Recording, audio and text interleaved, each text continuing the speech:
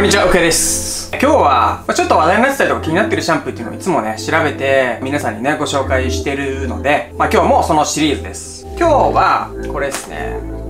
ドロワス。皆さんもね、ご存知かわかんないんですけども、最近ね、結構 YouTuber さんが案件動画として結構見るんですね。最近はね、CM とかっていうよりかは、まあ PR の案件で知名度を高めていく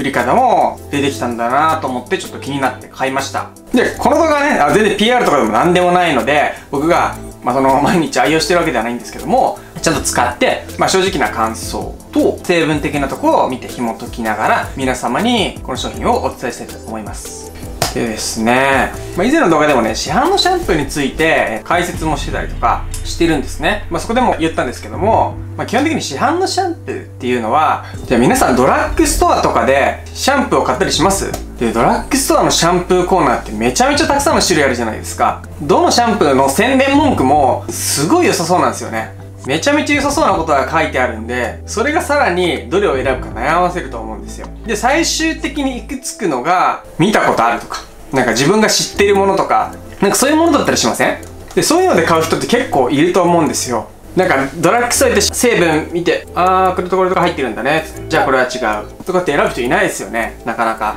なので、まずこの市販のシャンプーっていうのは、まず一回手に取ってもらわないと、で、市販のシャンプーってすごい差があるわけじゃないんで、えっとその買ったシャンプーを使って、まあ、ある程度、そんなに嫌じゃなかったら、なんか新しいものを挑戦するよりも、別にそこまで悪くないから、また同じものを買ったりしますよね。多分そういう感じになってくると思うんで、あの、市販のシャンプーって、まず手に取ってもらうことが最優先ですよね。手に取って買ってもらうことが。なので、一番広告費にお金をかけちゃうんですね。ってことは、まあ、1000円とかでね、売られてるような商品の大部分が広告費になってくるんですよ。個人的には、そんなに広告売ってないくて、あんまり無名なものに、いい市販のシャンプーがあるんじゃないのかなとは思ってるんですよね。で、ドラースですね。これはあんまりこう見ないかなとは思ってるんですね。まあそういった目線で見てましたね。なので気になってちょっと買ったんですけども、ちょっとご紹介していきます。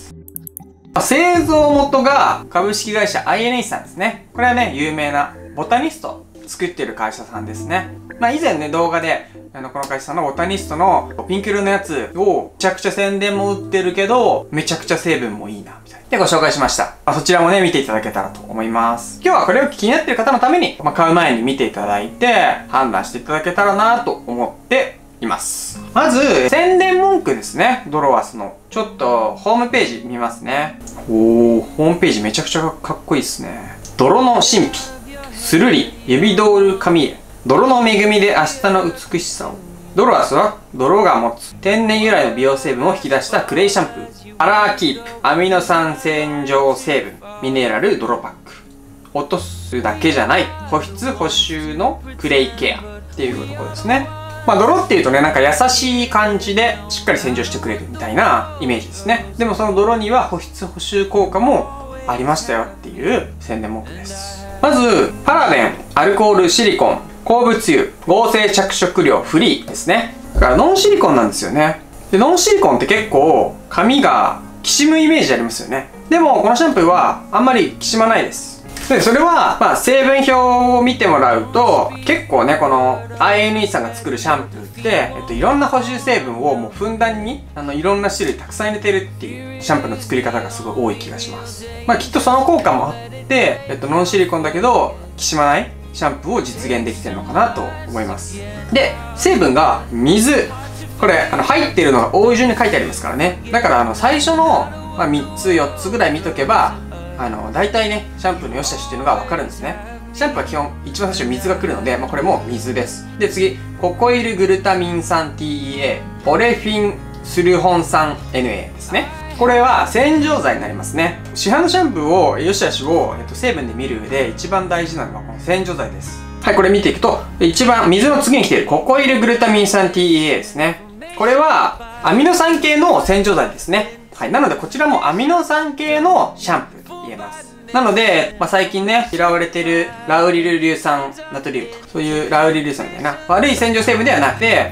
かなり優しくしっとりと洗い上げてくれる洗浄体です。で、このデメリットは泡立ちが悪い。でも、次に来るオレフィンスルホン酸 N ですね。これは洗浄剤が超強いでコンディショニング成分がほぼないあのラウリル硫酸と同等ぐらいの強い洗浄力を持つ洗浄剤ですね。これもそれが入ってます。まあ、ただ3番目に入ってるのでそれをメインで作られてるわけではないので、まあ、どちらかといえば優しいシャンプーとは言えるんですけどもアミノ酸系シャンプーなんですけどもちょっとねこれが入ってるのが的には残念かなっていう感じですかね。以前ねこの INE さんの、えっと、ボタニストのシャンプーをベタ褒めした時に、まあ、そこはね2つ目の洗浄剤もまあそんなに悪くない洗浄剤だったんですよねで、まあ同じ会社が作ってる、みたいな、えっと、ことを考えると、まあどちらかというとこっちの方がコストを抑えて質もちょっと下げて作られたようなシャンプーだと思います。まあただ値段が400ミリ入って900円ぐらいなので、そのボタニストはあれは1300円ぐらいですかね。なのでまあ1.5倍近い価格差があるので、ちょっとボタニストは高いよっていう方にはいいかもしれないです。まあこれ900円なのでだいぶ安いです。900円で作られてるシャンプーの中では他の900円で作られてるシャンプーと比べると、まあ、もっとね強すぎてコストが安い洗浄剤が使われてたりとかするので、まあ、900円ぐらいの価格帯で探されてる方はこれはおすすめできるかなと思いますまあ、ただちょっと洗浄力が強くなるので、シャンのシャンプーで頭皮が痒くなっちゃう人とか、頭皮が荒れてる人にはあんまりおすすめできないシャンプーかなと思います。ただですね、これ匂いが個人的な好みなのかなめちゃくちゃ良かったです。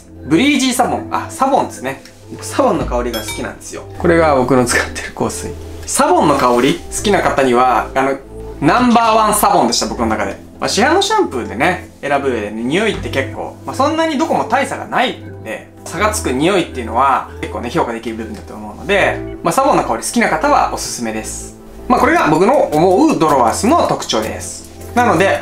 まとめますと900円ぐらいの価格帯で探されててまあ、すごい特徴があるわけではないんですけどもすごい悪いわけでもないので、まあ、ドラッグストアで、ま900円ぐらいでねシャンプーを探してる方でサボンの香りが好きな方で頭皮がそんなにすごい弱いわけじゃない方にはあのおすすめできるシャンプーとなってますのでぜひね、まあ、それで今のね解説を聞いて良かったと思ったら、まあ、使ってみていただけるといいんじゃないかなと思います。まあ、とはいえってでもですね、まあ、ノンシリコンのアミノ酸系シャンプーで900円でここまでのクオリティが出せるっていうのは、まあ、相当なね企業努力が必要なことだと思うのでやっぱね IME さんの作るシャンプーは本当に値段以上の品質だなっていうのは思います。なので気になった方は買ってみてください。今日の動画は以上になります。この動画がためになったよと思った方は高評価を。でためにならなかった方は低評価を押していただいて何かね、アクションいただけると僕も今後の動画の参考になるので、ぜひね、どちらでもいいので押していただけると嬉しいです。他にもね、皆さんが気になってる疑問だったりを解決していきたいなとも思ってますので、ぜひコメント欄に、まあ、気になるシャンプーだったりとか、質問だったりとか、なんか今使ってるシャンプーでもいいです。なんかそういうのをね、教えていただけると、それを参考に今後の動画を作らせていただきますので、ぜひそちらもアクションいただけると嬉しいです。他にも、髪のためになる動画を上げてますので、チャンネル登録もお願いします。じゃあまた次の動画でお会いしましょう。